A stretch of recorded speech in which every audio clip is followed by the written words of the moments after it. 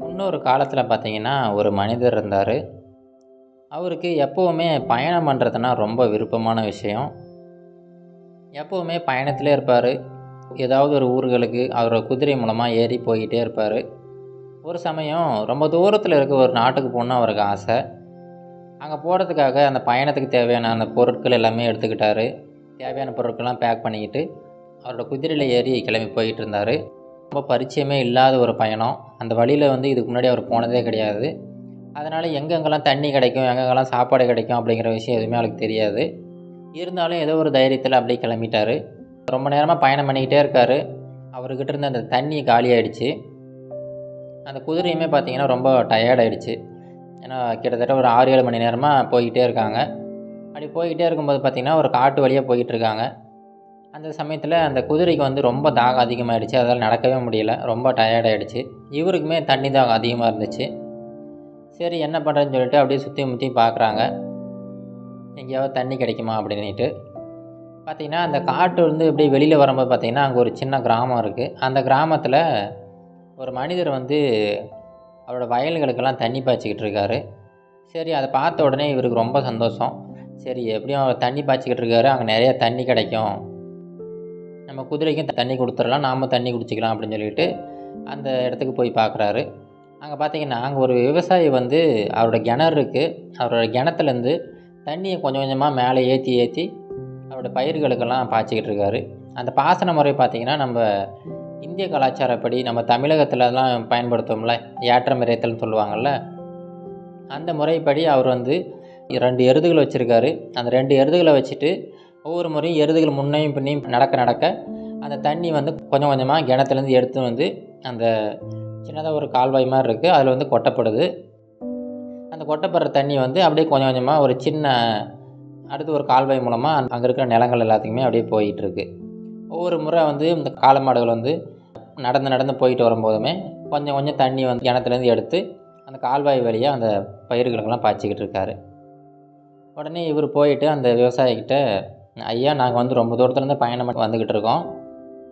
எங்களுக்கு ரொம்ப தண்ணி தாகமாக இருக்குது நீங்கள் பர்மிஷன் கொடுத்தீங்கன்னா என்னோடய குதிரைக்கு கொஞ்சம் தண்ணியும் நான் கொஞ்சம் தண்ணியும் குடிச்சிக்கிறேன் அப்படின்னு சொல்லிட்டு கேட்குறாரு அந்த விவசாயியுமே ஒரு பிரச்சனையும் இல்லைங்க. நீங்கள் தாராளமாக குதிரைக்கு வந்து தண்ணி காட்டுங்க. நீங்களுமே உங்களுக்கு தேவையான தண்ணீரை வந்து எடுத்துங்க அப்படின்னு சொல்லிட்டு அவர் பர்மிஷன் கொடுக்குறாரு. இந்த மனிதர் வந்து அவர் குதிரையை போய் கூட்டிகிட்டு வந்து அந்த கால்வாய் வழியாக தண்ணி போகுதில்ல அந்த இடத்துல அந்த குதிரையை வந்து விடுறாரு தண்ணி குடிக்கிறதுக்காக. இதை பார்த்தீங்கன்னா குதிரை வந்து கொஞ்சமாக தண்ணி குடிக்கலாம்னு சொல்லிட்டு தலையை கீழே குனிஞ்சு அப்படியே தண்ணி குடிக்க போகுது. ஆனால் அந்த சமயத்தில் பார்த்தீங்கன்னா அந்த ஏற்றம் இறைக்கிறாங்களா அந்த ஏ ஏற்றம் இறைக்கும் போது அந்த சத்தம் வந்து கொஞ்சம் இறைச்சல் மாதிரி சத்தம் அதிகமாக வந்துக்கிட்டு இருக்கும். காளை மாடுகள் வந்து முன்ன பின்ன நடக்குதுல்ல நடக்கும்போது பார்த்திங்கன்னா அந்த தண்ணி சேர்ந்துற சத்தம் வந்து ரொம்ப அதிகமாக இருக்கும். அந்த சத்தம் வந்து இந்த குதிரையால் தாக்கு பிடிக்க முடியல. அந்த சத்தம் வந்து இந்த குதிரையை வந்து ரொம்ப டிஸ்டர்ப் பண்ணிவிடுது அது தண்ணி குடிக்காமல் அப்படியே திரும்ப அந்த இடத்த விட்டு நகர ஆரம்பிக்குது. இந்த மனிதருமே மறுபடியும் அந்த குதிரையை கூட்டிகிட்டு வராரு. கூட்டிகிட்டு வந்து தண்ணி குடிக்கிறதுக்காக அந்த கால்வாய்க்கிட்ட விடுறாரு. ஆனாலுமே மறுபடியும் அந்த சத்தம் கேட்குது சத்தம் கேட்ட உடனே அந்த குதிரை வந்து தண்ணி குடிக்காமல் மறுபடியும் அப்படியே நகர்ந்து அப்படியே பயந்து போயிட்டுருக்கு இந்த பக்கமும் அந்த பக்கமும். உடனே இந்த மனிதருக்கு வந்து சரி எப்படி இது தண்ணி குடிக்க வைக்கிறதுன்னு தெரியல. ஏன்னா தண்ணி குடிக்கலாம் அடுத்து அவங்க வந்து பயணத்தை வந்து தொடர முடியாது. சரின்னு சொல்லிட்டு அவர் அந்த விவசாயிக்கிட்ட போயிட்டு ஐயா ஒரு அஞ்சு நிமிஷம் மட்டும் நீங்கள் இந்த ஏற்றம் இறைக்கிறத கொஞ்சம் நிறுத்தி வைக்கிறீங்களா? ஏன்னா இப்போ குதிரை வந்து தண்ணி குடிக்காமல் ரொம்ப அடம் பிடிக்குது. அதுக்கு வந்து இந்த சத்தத்தை கேட்டு ரொம்ப பயப்படுது. ஒரு அஞ்சு நிமிஷம் மட்டும் நீங்கள் இதை நிறுத்தி வச்சிங்கன்னா நான் வந்து குதிரைக்கு தண்ணி காட்டிட்டு நானுமே தண்ணி எடுத்துக்கிட்டு கிளம்பிடுவேன் கொஞ்சம் உதவி பண்ணுங்கள் அப்படின்னு சொல்லிட்டு அந்த மனிதர் கேட்குறாரு உடனே அந்த விவசாயி கொஞ்சம் சிரிச்சுக்கிட்டே சொல்கிறாரு ஐயா இங்கே பாருங்கள் இந்த ஏற்றம் இறைக்கிறோம்ல இந்த மெக்கானிசம் பார்த்தீங்கன்னா ஒவ்வொரு முறை இந்த எருதுகள் வந்து முன்ன பின்ன நடந்தால் மட்டும்தான் தண்ணி வந்து அந்த கிணத்துலேருந்து எடுத்து வந்து மேலே கொட்டப்படும். அப்படி கொட்டினா மட்டும்தான் தண்ணி அந்த கால்வாய் வழியாக போகும். அப்படி கால்வாய் வழியாக தண்ணி போனால் தான் நீங்கள் வந்து குதிரைக்கு தண்ணி காட்ட முடியும். நீங்கள் இந்த ப்ராசஸை வந்து நிறுத்த சொல்கிறீங்க அப்படி நிறுத்த சொன்னீங்கன்னா தண்ணி வந்து மேலே வராது அந்த கால்வாய் வழியாக தண்ணியுமே போகாது. அப்படி எப்படிங்க ஐயா நீங்கள் தண்ணி காட்ட முடியும்? உங்கள் குதிரைக்கு வந்து தண்ணி வேணும்னா அது வந்து இந்த சத்தத்தை வந்து சகிச்சுக்கிட்டு குடிச்சு தான் ஆகணும். இல்லை அந்த சத்தத்தை வந்து சகிச்சிக்க முடியலன்னா அந்த குதிரை வந்து கடைசி வரைக்கும் தாகமாக தான் இருந்தாகணும்.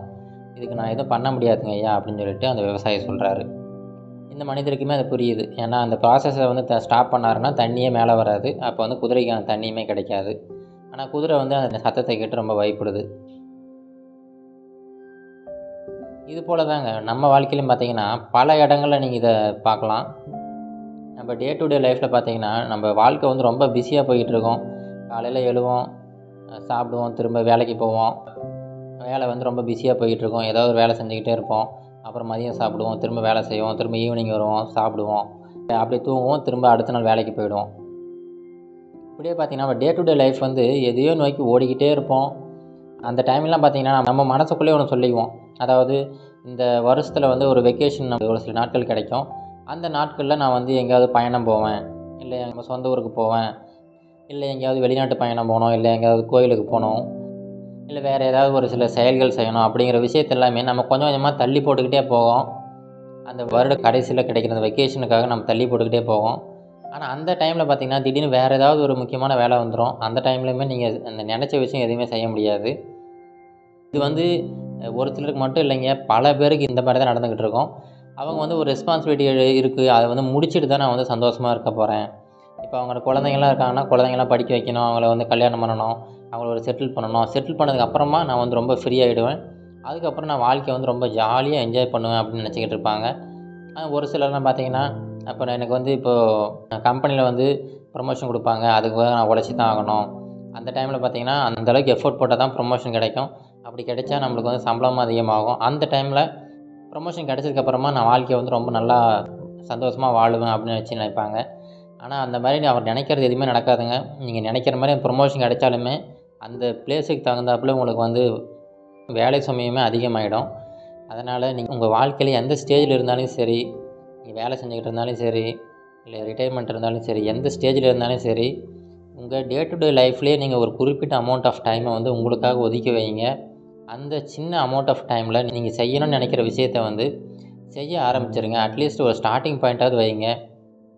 நீங்கள் ஏதாவது ஒரு புக் எழுதணும்னு நினைக்கிறீங்கன்னா ஃபஸ்ட்டு ஒரு நோட்டை வாங்கி ஃபஸ்ட்டு ஸ்டார்ட் பண்ணுங்கள் ஒரு நாளைக்கு ஒரு பேஜ் அப்படிங்கிற விதத்தில் ஸ்டார்ட் பண்ணுங்கள் நீங்கள் அதை விட்டுட்டு நான் வந்து ஒரு வெக்கேஷன் வரணும். அந்த வெக்கேஷனில் வந்து ஒரு பத்து நாள் லீவ் கிடைக்கும். அங்கே தான் எழுத போகிறேன் அப்படின்னு நினச்சிங்கன்னா அந்த வெக்கேஷன் வந்து கடைசி வரைக்கும் வராது. நீங்கள் கடைசி வரைக்கும் ஒரு புள்ளி கூட வைக்காமல் தான் உங்கள் வாழ்க்கை வந்து நகர்ந்து போய்கிட்டே இருக்கும்.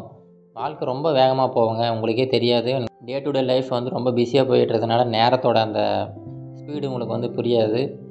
ஒரு ஐம்பது வயசு கழித்து நீங்கள் அப்படியே திரும்பி பார்க்கும்போது தான் தெரியும். வாழ்க்கையில் வந்து பல விஷயங்கள் நம்ம இழந்திருக்கோம். சின்ன சின்ன சந்தோஷங்கள் வந்து ரொம்ப இழந்திருக்கோம். அப்படிங்கிறது அப்போ தான் புரியும். அந்த டைமில் உங்களுக்கு இருக்க போகிறது ஃபுல்லாகவே ரெக்ரெட்ஸ் மட்டும்தான். அதை நீங்கள் தவிர்க்கணும்னா உங்கள் வாழ்க்கையில் சின்ன சின்ன வெக்கேஷன் எடுத்துங்க. ஒரே டைமில் இயர் ரெண்டில் தான் வெக்கேஷன் எடுக்கணும் அவசியம் கிடையாதுங்க. ஒவ்வொரு நாள்லையுமே நீங்கள் ஒரு பத்து நிமிஷம் இருபது நிமிஷம்னு சொல்லிட்டு உங்களுக்கான நேரத்தை ஒதுக்கி வைங்க. அந்த டைமை நீங்கள் ஜாலியாக என்ஜாய் பண்ணுங்கள் நீங்கள் உங்களுக்கு பிடிச்ச விஷயங்களை செய்யுங்க. வாழ்க்கை பார்த்திங்கன்னா ஒவ்வொரு நாளுமே ரொம்ப சந்தோஷமாக ஒவ்வொரு நாளுமே ஒரு வெக்கேஷனில் இருக்கிற அந்த சந்தோஷத்தோட வாழ்க்கை நகர்ந்து போய்கிட்டே இருக்கும். நீங்களுமே ஒரு ரெக்ரெட்டே இல்லாத ஒரு வாழ்க்கையை வாழ்ந்த ஒரு திருப்தியோடு நீங்கள் இருக்கலாம். இது கரேஜ் டு ஆக்ட் மோட்டிவேஷன் கதைகள்.